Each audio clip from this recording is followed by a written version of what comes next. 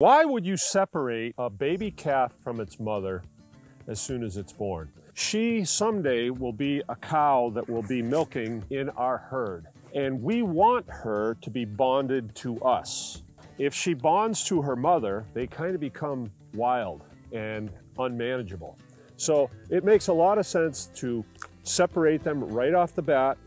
Uh, the mother is not distressed and the calf is not distressed. They just go on with life as though uh, they don't know each other. She has to be fed twice a day. But then while we're here, you know, we pet her, we love her, she gets used to us, and we're making an, an investment in her because as a family milk cow, she could be around here for 10 years and we want her to be friendly. So that's why we separate her from her mother when she's really young. It's not because we're mean, we're investing in her future here as part of our family. Is Mark from Baker's Green Acres. Remember, anyone can farm.